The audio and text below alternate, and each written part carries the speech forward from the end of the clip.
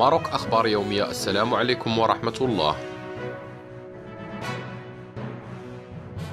اهتزت جماعة أفسو نواحي الناظور يوم الثلاثاء على وقع جريمة قتل مرعبة. بطلها إمام مسجد أرغم سيدة على شرب منقوع أعشاب مسمومة.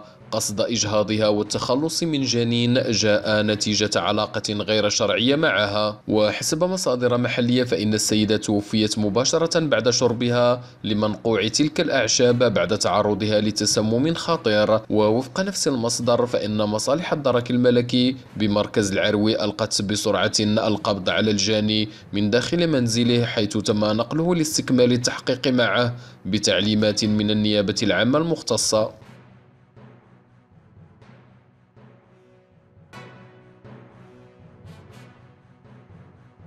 نشكركم على حسن المتابعة. قناة ماروك أخبار يومي.